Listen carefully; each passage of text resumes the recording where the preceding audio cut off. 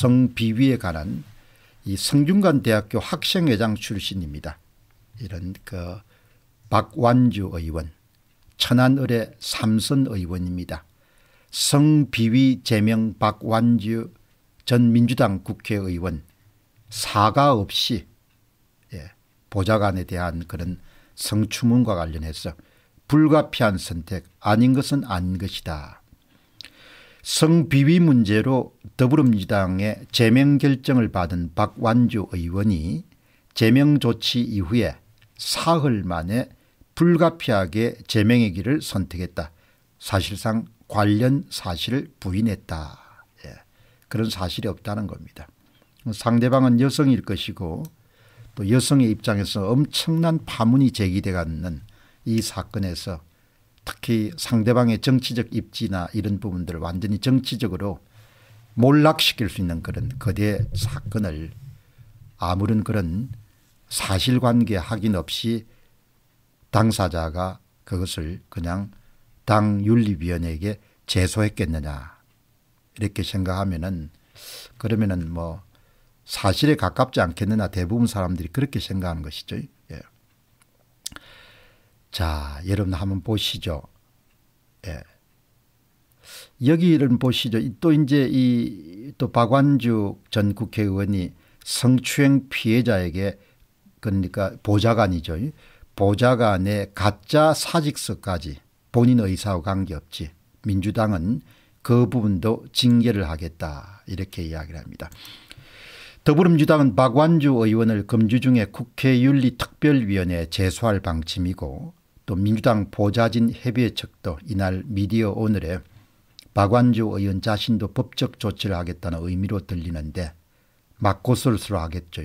피해자는 성비위 문제와 본인의 의사와 관계없이 직권 면직한 것에 대해서 직권 남용과 명예훼손 문제 등으로 행사 조치할 계획이다. 소장이 정리되는 대로 고소장을 낼 계획인 것으로 안다. 예. 그러니까 이 박완주 의원이 참 정치적으로 가장 최대 위기를 맞게 됐네요. 예. 어떻든 간에 참, 뭐, 이런 짓 하면 안 되죠. 예. 관련되면 안 되는데, 예. 결국은 뭐, 아무튼 586 운동권 출신의 아주 이제 잘 나가던 인물 가운데 한 사람입니다.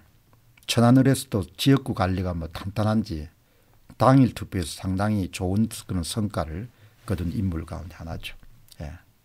어떤 이런 문제가 있고 또 이제 또 다른 소식은 음, 오선인 조정식 그런 의원 민주당 의원입니다.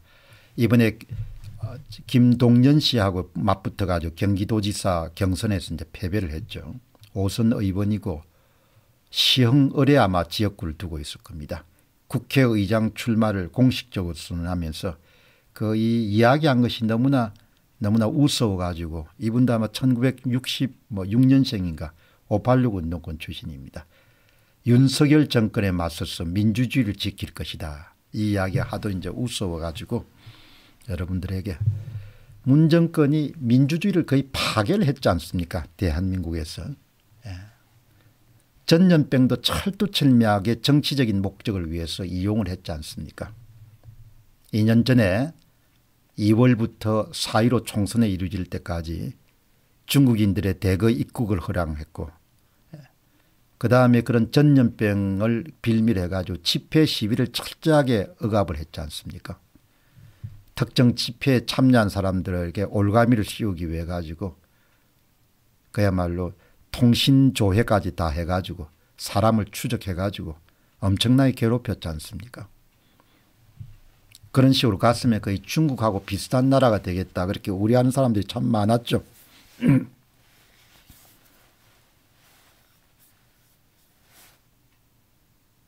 그리고 또 뭐 대법원엔 자기 사람들 다 심어가지고 지금 사법부가 말이 아니지 않습니까?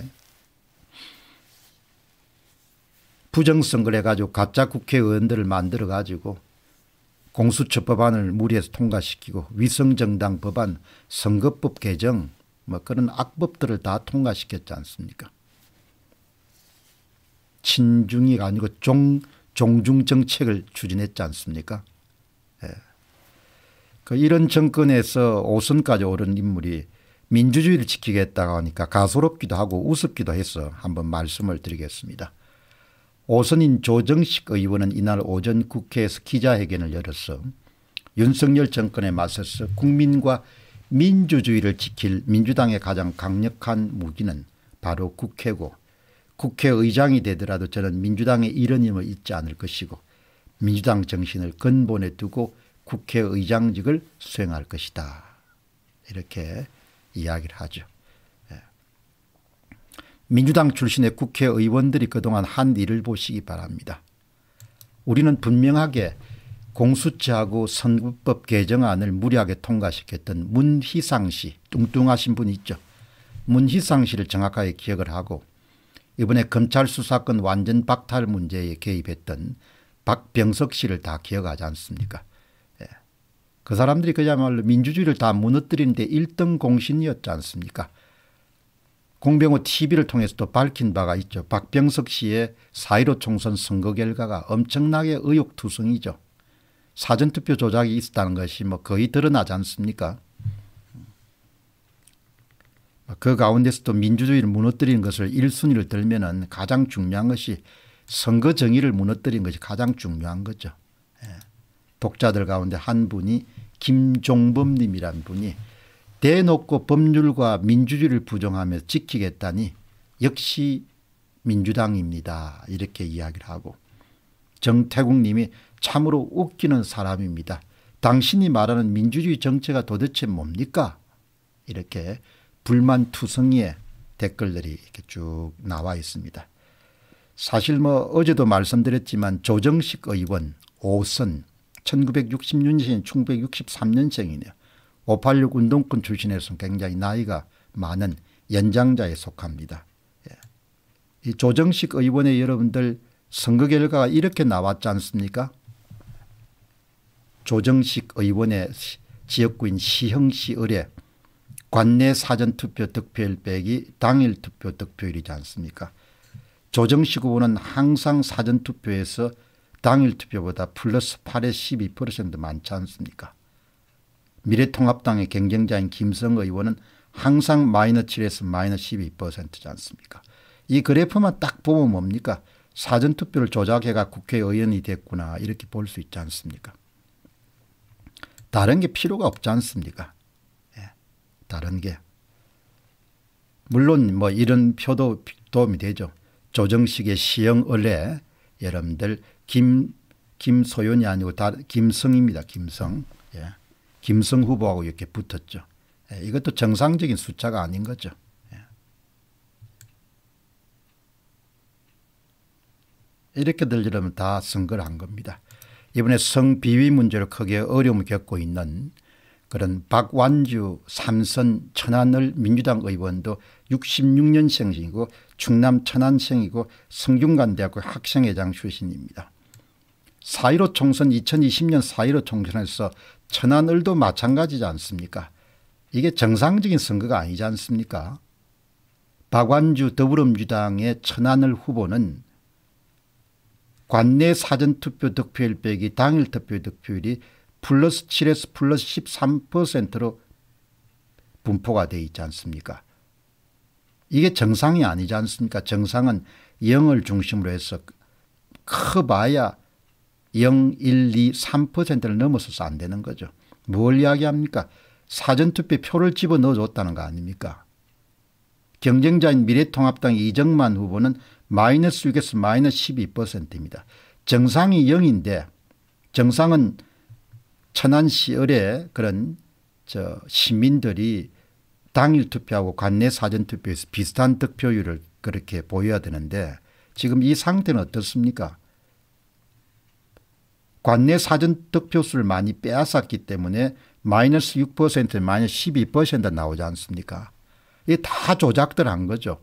박병석 국회의장 현 의장 조정식 그냥 국회의장 민주당 후보 박완주 성비비 사건 관련자 모두가 다 뭡니까 4.15 총선의 사전투표 조작에 연루된 사람들이지 않습니까 예? 박완주 천안을 씨는 플러스 8.606% 이정만은 마이너스 7.42%지 않습니까? 총 조작률이 12.48%입니다. 박완주 후보 저 국회의원은 굳이 이렇게 조작할 필요가 없었지 않습니까? 왜 그러면 당일 투표가 압도적으로 우세했기 때문에. 미래통합당의 이정만 후보에 비해 가지고 무려 한 20% 19% 정도 앞섰지 않습니까 그러면 당일 투표 득표율하고 사전 투표 득표율이 비슷하게 나오기 때문에 이렇게 조작을 할 필요가 없는 거예요. 이렇게 조작을 이렇게 조작 안 해도 이기니까 근데 왜 조작했습니까 여러분 제가 반복해서 말씀드렸지만 프로그램을 사용하니까 예, 프로그램은 박완주가 누군지 잘 모르는 겁니다. 조정식이가 누군지도 모르고 박병석이가 누군지도 알 수가 없는 겁니다. 김진표가 누군지도 알 수가 없고 그냥 조작 프로그램은 그냥 조작률 때려 넣어가 당 돌리는 거 아닙니까 조작률 돌려놓으니까 이게 기계가 만든 작품이죠. 이게 시민들이 만든 작품이 아니란 겁니다. 얼마나 대한민국이 지금 심각한 상태입니까 사전투표 선거 결과가 시민들이 만든 게 아니고 기계가 만든 겁니다. 기계가. 프로그램이 만든 겁니다. 박완주 후보는 그렇게 조작할 필요가 없습니다. 사전 투표에서 당일 투표에서 55.45%나 얻었는데 말라고 이렇게 사전 투표를 조작합니까 그런데 확실하게 사전 투표를 조작한 거죠. 프로그램이 조작을 해준 겁니다. 이렇게 여러분들 상황이 나온 겁니다. 지금 이보다 대한민국에 중요한 게 뭐가 있겠습니까 중요한 거 더 이상 중요한 거 없습니다. 예, 이게 중요한 겁니다. 저는 현재 윤석열 정부가 대한민국 사회의 현재와 미래를 위해서 가장 중요한 선거 정의 구현 문제를 위해 가지고 행동에 나설지는 잘 모르겠습니다. 다만 제가 해야 될 하는 게는 국민들에게 사실을 알리고 그다음에 국민들이 그냥 알아서 결정하라는 거죠. 예. 더 이상은 내가 어떻게 해볼 도리가 없다는 겁니다. 다만 몰라기 때문에 잘못된 행동을 해서는 안 되기 때문에 이렇게 다 조작을 한 겁니다. 이렇게 다 조작을 사전투표 조작을 해가지고 5선 의원이건 4선 의원이건 3선 의원이건 다 이렇게 조작을 해가지고 선거를 훔친 것이죠. 예. 그렇기 때문에 정말 6월 1일 지방선거에서 별 문제가 없을 것이다. 이렇게 생각한 사람은 지나치게 순진한 사람이거나 아니면 맛이 간 사람이거나 뭐 그런 거겠죠. 예. 그러니까 국민의 힘이 지금 하고 있는가 하면 보면은 맛이 간 정당 같다는 생각입니다. 예. 이렇게 여러분들 정리가 됐습니다.